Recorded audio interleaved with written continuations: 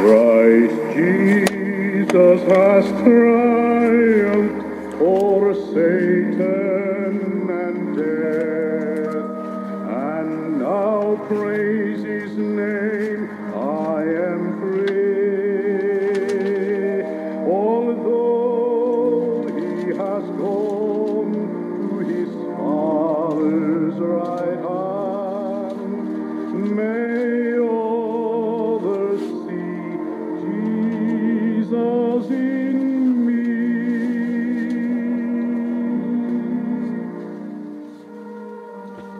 Greetings, friends. This is Pastor R. Norheim presenting the Gospel in Sermon and Song sponsored by the Lutheran Gospel Hour Association, Pasadena, California. Released on a special network of selected radio stations in the United States, Canada, and overseas. Maintained by the prayerful, free will, tax deductible gifts of listeners. Bill Gothard, Director of Basic Youth Conflicts, who recently conducted a pastor's seminar in the Pasadena Civic Auditorium, gave us a tape of the earlier Hollywood seminar where 10,000 men and women sang glorious gospel songs. We were so thrilled we decided to let our Lutheran Gospel Hour singers hear a portion of this tape. Listen.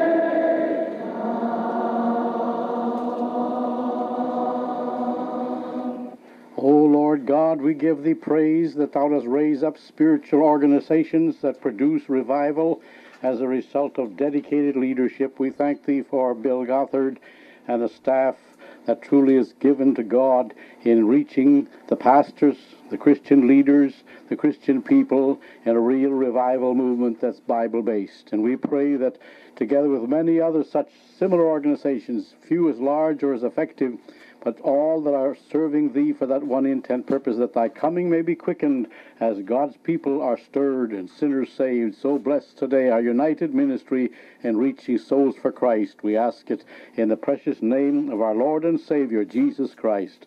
Amen.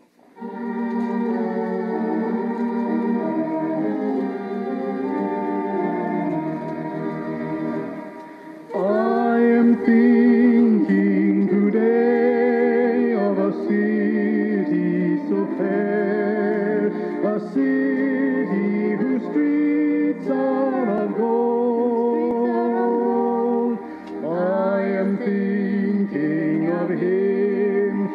has gone to prepare a place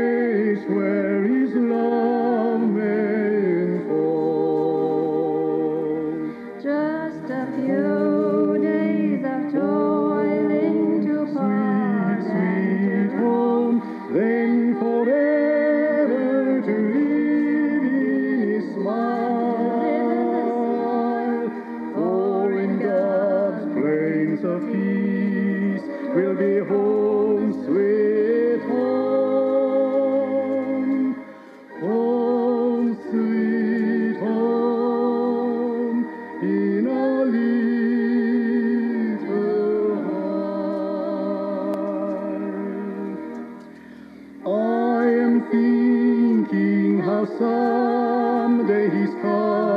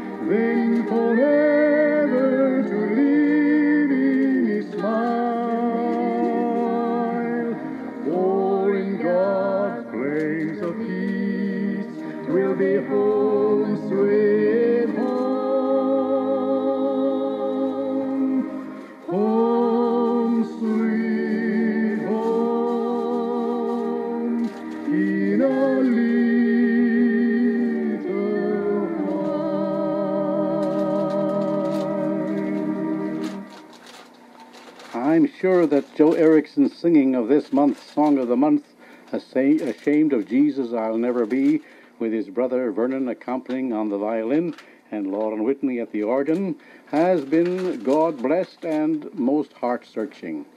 Today we hear it for the fourth and last time. If you meant to write and ask for a copy of Words and Music but failed to do so, then remember this is the last call. Ask for the Song of the Month, Ashamed of Jesus, and address your letter to Lutheran Gospel Hour, Post Office Box 12, Pasadena, California. Listeners in Canada may write to the Lutheran Gospel Hour, Post Office Box 201, Saskatoon, Saskatchewan.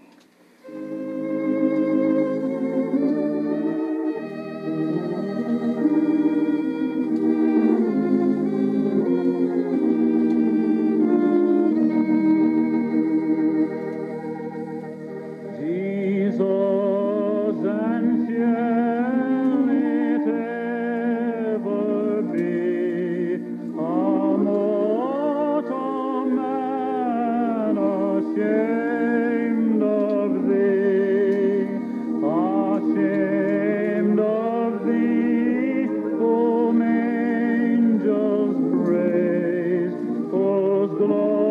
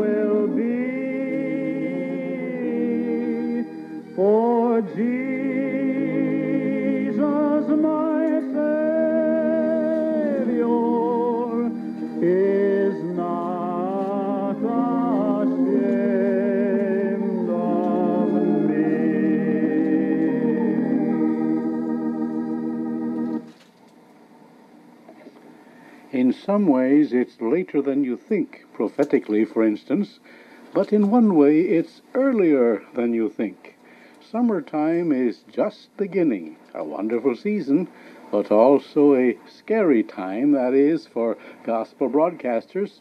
Graduations, vacations, conventions, anniversary gatherings are only a few of the many attention takers that make radio friends so occupied with the many things that monthly contributions are postponed and neglected, making it impossible for us to regularly take care of our monthly payments to radio stations for precious time used in broadcasting God's Word at home and overseas.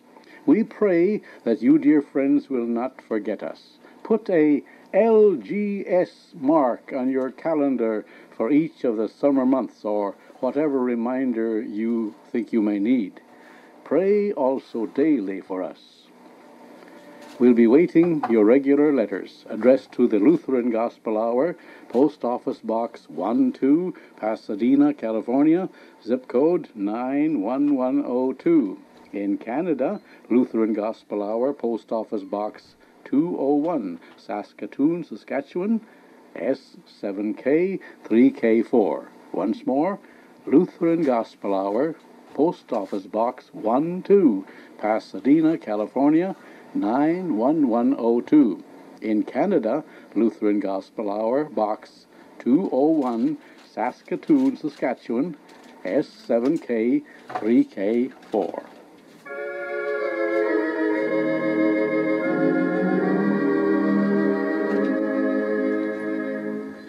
There is one name,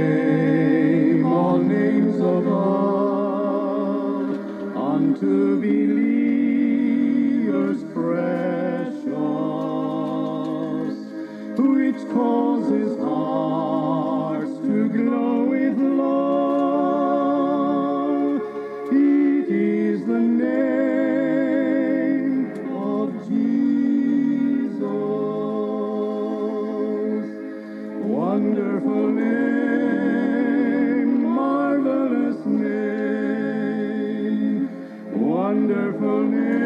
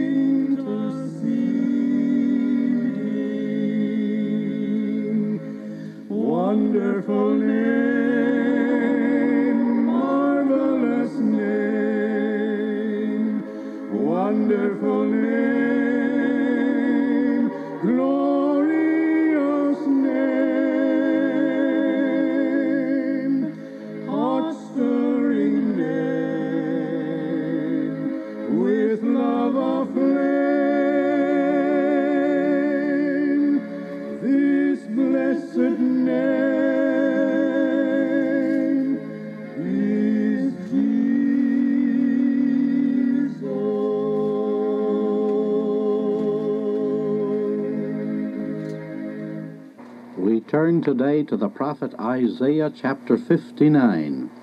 Behold, the Lord's hand is not shortened that it cannot save, neither his ear heavy that it cannot hear. But your iniquities have separated between you and your God, and your sins have hid his face from you that he will not hear. Your hands are defiled with blood, and your fingers with iniquity. Your lips have spoken lies, your tongue hath muttered perverseness. It has often been said that conditions have never been as terrible as they are now, that young people have never had so many temptations as they meet today, that ungodliness, atheism, irreverence, and blasphemy against holy things have never compared with that of this age. Now you may question this, but Scripture tells us that evil men and seducers shall wax worse and worse. And so in 2 Timothy 3.13 you have that word that certainly explains the age that we live in. It is also in accordance with Scripture that as God gives the greater light, if people refuse it, they harden themselves and become worse. We surely cannot deny that we are an enlightened age. We are the space age, an age far above that of other ages as far as enlightenment, improvements, and uh, those things that would tend to make life certainly outstanding. But together with all the advantages have come the disadvantages, the hardening of heart. Why are there so few who really earnestly seek God today? Is the gospel too old fashioned? Has it lost its power? Has God failed? Oh, no, you say, and I agree with you. No, no, a thousand times no. God's holy word declares, The Lord's hand is not shortened, that it cannot save, neither his ear heavy. His hand has reached sinners deep in the mire of sin today as of days of yore. I have preached in slum missions in the Skid Row sections, and I have preached in some of the more elite churches of our day. And yet I find that man everywhere needs that hand of God that can reach them where they are, because man by nature is inclined to put distance between himself and God. But God's hand is not shortened, that it cannot save, neither his ear heavy. His hand has reached out and is reaching out today, and we thank God for all the noble cases of those that come out of darkness into God's wonderful light. Notice, too, that the prophet Isaiah says that his hand certainly is not shortened, nor is his ear heavy. Elderly people begin to lose their hearing, and it's very difficult. You must shout at them. But God, who is eternal, never lacks. He hears the faintest cry of the weakest sinner, and he has heard the cry of distress again and again. Prayer has been answered. It has been my joy in evangelistic meetings to note again and again that God is still on the throne. He hears those that cry to him. Children have cried, teenagers, and young people, young married people, elderly people. What a joy to see the hand of God reaching out to them. So certainly we cannot blame God because that the, the scriptures have been ignored. No, it is man's sin that has separated between man and God, and therefore you will note in our text it is your iniquities, says the says the writer prophet Isaiah, that have separated between you and God, hiding God's face, so that he will not and he cannot hear. Because your iniquities have separated between you and your God, and your sins have hid his face from you that he will not hear you. Iniquities indicate the crookedness, the perverseness of man's nature. We have one word, sin, which means missing the mark. We have another word, transgression, which means willful disobedience and trespassing. And then you have the word iniquity, which denotes the crookedness of man's nature. He is inclined away from God. It is the crookedness and perverseness of man's original nature that causes transgression and missing the mark. So the Lord says, Your iniquities have separated between you and your God. He goes on to say, Your hands are defiled with blood. This was acknowledged by the Jews when they said, His blood be upon us and our children. When Christ was accused and was to be nailed to the cross, then it was that the Jewish people as a race said, His blood be upon us. And they have tasted the results of that curse that followed the Jew to this very day, hiding God's face. But many have seen their folly and have turned back to God. And even today, God is preparing their own country for them, though there are many returning in unbelief. Yet the day is going to come when they're going to see him whom they crucified and shall acknowledge him. Yes, hands are defiled with blood. Now this should be acknowledged by the Gentiles as well. We are also guilty of the death of Christ. It was our sins that brought him there. And if you haven't seen that, you haven't seen the meaning of redemption. Christ died for the ungodly. And the ungodly were not only the Roman soldiers, the Jewish leaders that caused Christ to be crucified. Gentiles are included. The same ungodliness that caused Christ to go to the cross, the same ungodliness of the Jew is of the Gentile, so that all men must acknowledge it was our sins that nailed him to the tree. On Judgment Day your hands will be filled with innocent blood if you in life haven't confessed your sins and your sinfulness. Now that's one sin of rejecting Jesus is enough to condemn, but sin never goes unaccompanied. It multiplies. It grows so fast.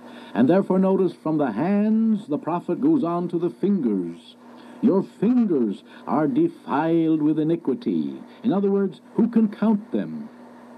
We count think by our we, by our fingers, but I tell you this is beyond the counting. Not merely ten in number. There were ten commandments, and man becomes guilty on every count, on every finger. You are a transgressor, but go way beyond that. Iniquities are more than one on each finger. They are multiplied. And therefore the multiplicity of sins stand before the sinner, and the question comes, can God forgive me the works of my hands of sin? But not only the evil of the hands and of the fingers, but your lips have spoken lies, says the prophet. And the Lord said, No liar shall inherit the kingdom of God. What are some of these lies? Well, first of all, broken promises. The young who say, When I get older, I'll accept Christ. And then the years of youth come and go, and man has yet not yet accepted Christ. Those broken promises are lies. Are you there, my friend, today, who have made promises, but you've broken them? Are you amongst those that are sick who say, If God makes me well, I'll give him my heart? Many people have promised God on the sick bed, but when they became well, they've forgotten their promises. God, if you let me live now, I'll be a Christian, so many have said. But when the cause has been removed, then sin takes a hold again. It's meaningless confession if you say, I'm a sinner. Now that's true, but if you're unsaved, you make it a lie by not accepting Jesus the Savior of sinners.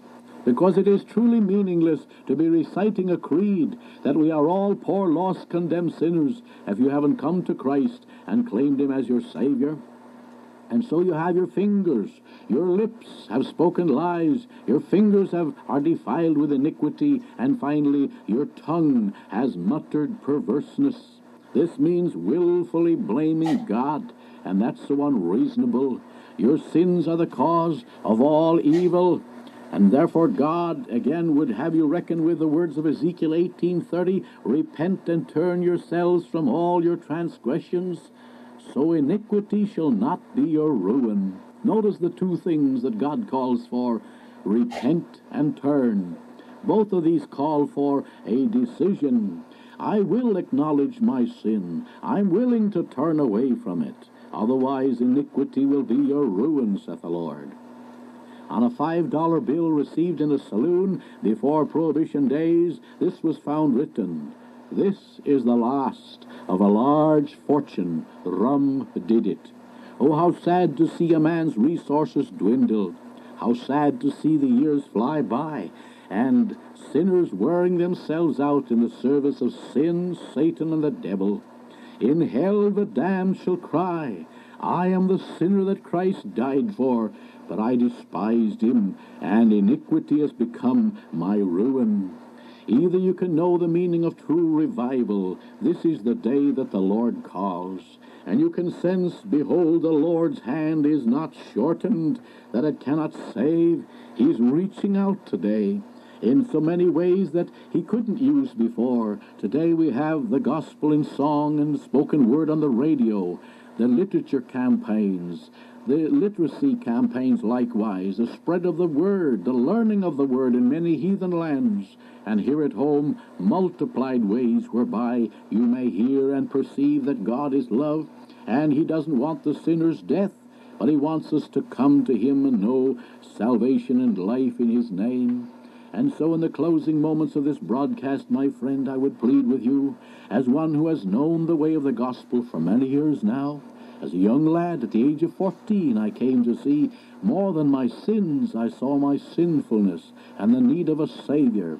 And kneeling there at the foot of the cross of Calvary, I found one who saved me from my iniquities, who blotted out my transgressions, who showed me that my sins were atoned for. And these years I have become an advisor to many young people and many old.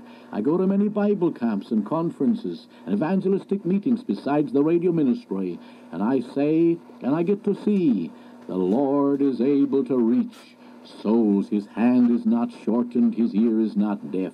Now don't your ear become deaf to the calls of God, but God grant by his grace that you may be a, a good attentive listener who shall say, This day and in every way I shall serve the Lord as I first give him my soul and then my life. Oh, will you give heed to this message today and to your convictions be true? There's danger and death in a further delay. My friend, he is now calling you. Make room for the Savior today. Make room for the Savior today. If you do win mansions in heaven, make room for the Savior